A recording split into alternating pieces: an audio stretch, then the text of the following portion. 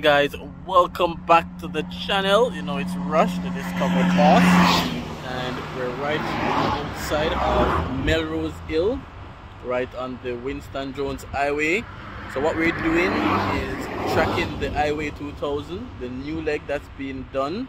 Um, this is from Glenmuir in May Pen, where the current Highway 2000 finished and it will run to roundabout at Williamsfield in Manchester. It's slated to finish October 2022. I don't think they'll meet that deadline. Let me know what you guys think. And it's at a cost of over 4.5 billion Jamaican dollars. So leave your comments. Uh, this is tracking the route of Highway 2000. We did two previous video. So this is the third and, and final video just highlighting one the path of the highway and some of the key areas that it will pass. And just showing you guys some of the update some of the work being done on the highway 2000 remember to like the video guys. Remember to comment. Remember to share the video.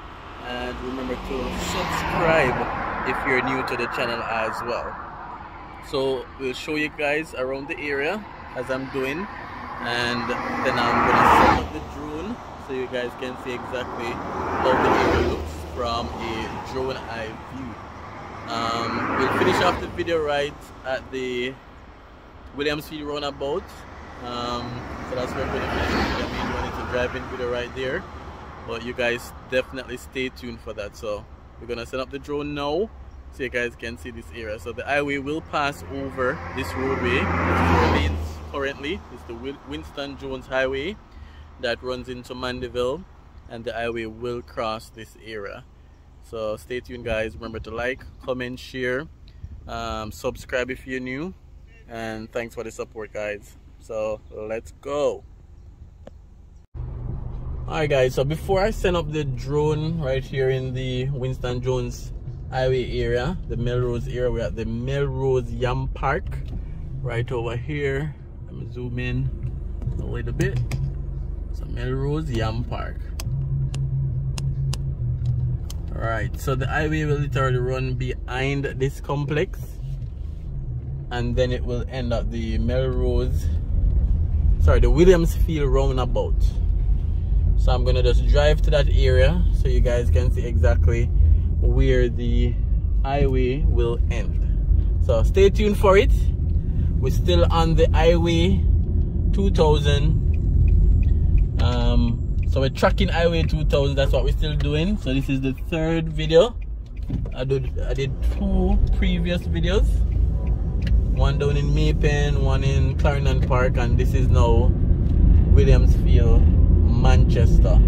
I'll put the link for the first two video in the comment section as well so you guys can see. And this is the final video before we send up the drone. Just want to show you guys where the highway that's the May Pen to Williamsfield leg of the highway where it will end. And again guys, thanks for clicking on each video. Thanks for commenting. Thanks for sharing. So I know previous videos I only covered um, the Glenmuir area we're doing the work and also the Foga Road area. But this time around we're able to do three videos, you know, just highlighting, just tracking the highway, showing the route of the highway, um, for you guys. So definitely let me know your com let me know your comments. Let me know what you think. Um, yeah, definitely. This video did take some time. You know, you know, from drone shots to ground shots. So let's see if we can get this video as viral as possible. So you know, persons can see some of the great developments that's happening in Jamaica, and persons can see the progress of the highway as well. So definitely share the video guys. Remember to comment if you haven't done so as yet. Just leave a comment. And if you have ever been to the yam park as well um, let me know. Let me know what's your favorite thing over there to buy as well. And remember to subscribe. Subscribing is completely free. It doesn't cost you but at least you'll be supporting the channel Thanks for all the support. I know from time to time persons donate to the channel via PayPal. We have our PayPal information in the comments. And even by watching the video, even by watching the ad, even by liking, commenting or sharing, you're also supporting the channel as well.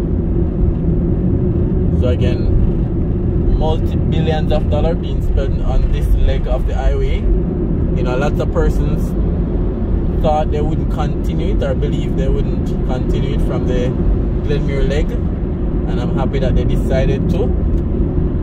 And right now they're also working on the St. Thomas um, highway as well. So very soon you can leave St. Thomas, you know, fly through Kingston and reaching Mandeville in probably, if I'm estimating, probably said two hours max, one and a half hours. Probably two hours. If we're coming from St. Thomas, probably two hours. Or a little bit more based on the speed and everything and the amount of traffic. So this is the Williamsfield roundabout. So this is where the highway will connect. They haven't started much work out this side. I think what they're doing first is you know digging down the hilly areas, you know, creating the path of the highway as well. Before they come back to this side. Alright, so just wanted to show you guys this area.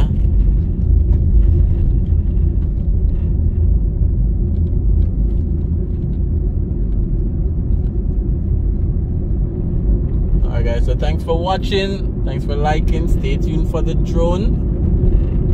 So a drone shot is coming up next